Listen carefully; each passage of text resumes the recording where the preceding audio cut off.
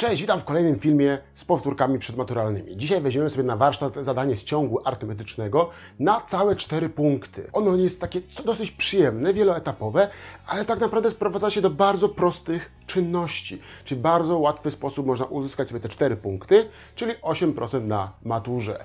To cóż, zaczynamy. Przeczytamy sobie je. Ciąg arytmetyczny AN jest określony dla każdej liczby naturalnej n większej bądź równej 1.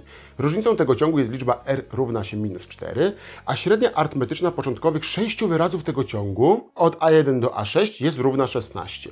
I mamy A i B. I najpierw skupimy się na pierwszym pytaniu, czyli oblicz pierwszy wyraz tego ciągu. I mamy podpunkt A. No i zapisujemy sobie treść z zadania, którą mamy, czyli że średnia arytmetyczna sześciu wyrazów, czyli A1, A2, czyli średnia arytmetyczna sześciu wyrazów równa się 16. Czyli czego tutaj brakuje? Średnia arytmetyczna. No średnią arytmetyczną to Wy dodajecie sobie od prawda, czwartej klasy podstawówki, jak dowiedzieliście się, co to jest, i do obliczania ocen. Czyli skoro mamy 6 elementów, to to wszystko trzeba podzielić przez 6 to w takim układzie, jakbyśmy sobie pomnożyli to obustronnie przez 6, to ta szóstka nam tu zniknie i wyjdzie nam, że A1 dodać A2 dodać A6 równa się 16 razy 6, czyli 96. I co to jest od A1 do A6? To jest nic innego jak suma sześciu wyrazów ciągu.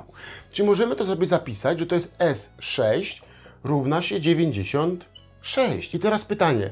Znamy wzór na sumę n wyrazów ciągu? No znamy, odczytujemy go sobie z tablic matematycznych, gdyż mamy obliczyć A1. Znamy n? No znamy, bo to jest 6 wyrazów. Znamy sumę 6 wyrazów? Tak, bo to jest 96. Znamy r? Oczywiście, bo to było podane w zadaniu, że r równa się minus 4. Czyli co wystarczy zrobić? Wstawić do liczby do tego wzoru i obliczyć równanie. No i mamy S6 równa się 2A1 dodać n minus 1, w miejsce n wstawiamy sobie szóstkę, minus 1 ra razy minus 4 przez 2 razy 6, ponieważ mamy 6 elementów. n wynosi 6. Częstym błędem, który robicie w tych zadaniach, to jak tutaj jest r i r jest, czyli różnica naszego ciągu arytmetycznego jest ujemna, to zapominacie o tym minusie, że to musi być z minusem wstawione. Tu moglibyśmy sobie od razu dwójkę z szóstką skrócić, czyli tu mamy 1 i tu mamy 3. I tak, w miejsce S6 wstawiamy 96 równa się i uwaga, kolejny błąd, który często robicie, to taki, że tu jest trójka i wymnażacie tylko i wyłącznie ten element razy 3. A tutaj to musimy traktować jako nawias. Czyli mamy 2a1 dodać 6 minus 1 oczywiście to jest 5 razy minus 4 razy 3.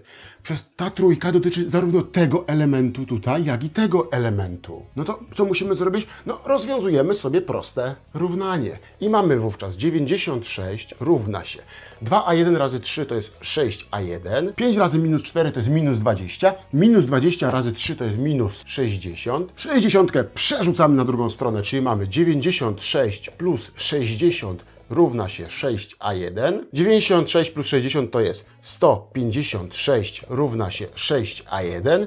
Dzielimy obustronnie przez 6 i wychodzi nam, że a1 równa się 26. Proste podstawienie i mamy dwa punkty na maturze. Oczywiście wynik nasz podkreślamy. No i mamy drugie polecenie. Musimy sobie obliczyć, dla jakiego wyrazu ciągu AK równa się minus 78. Z czego sobie tutaj skorzystamy? No, skorzystamy sobie ze wzoru na n wyraz ciągu, który również macie w tablicach matematycznych w zakładce ciąg arytmetyczny.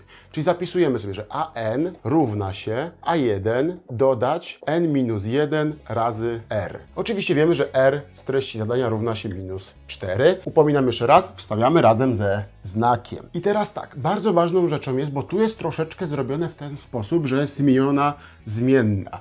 I pamiętajcie o tym, żeby trzymać tą zmienną, żeby Was to nie zmyliło. No AK, no co to jest za różnica, jeżeli ktoś z N zmienił sobie na K?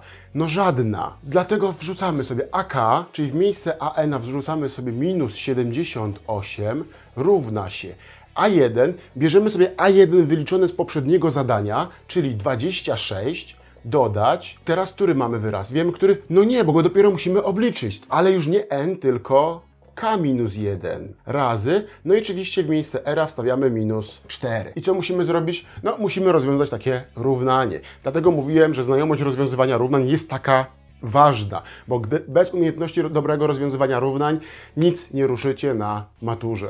No to działamy w takim układzie. Mamy minus 78 równa się 26. Tutaj uwaga, przemnażamy obydwie liczby, czyli to razy to i to razy to, czyli mamy k razy minus 4 to jest minus 4k. Minus 1 razy minus 4 to jest plus 4. 26 plus 4 to jest 30 i przerzucamy na drugą stronę, czyli mamy minus 78 minus 30 równa się minus 4k. Minus 78 minus 30 to jest minus 108 równa się minus 4k. I na sam koniec, jak już mamy minus 108 równa się minus 4k, wystarczy podzielić przez minus 4 i mamy minus 108 przez minus 4 to jest 27, minus 4 przez minus 4 to się równa k. Ponieważ minus i minus daje nam plus, minus i minus daje nam plus. Czyli jest to który wyraz ciągu?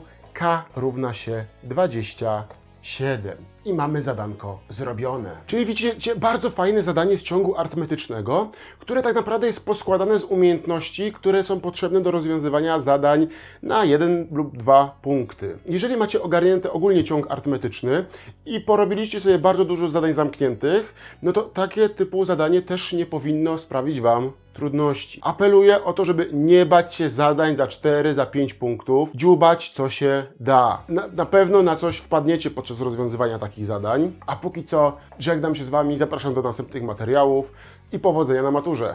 Cześć!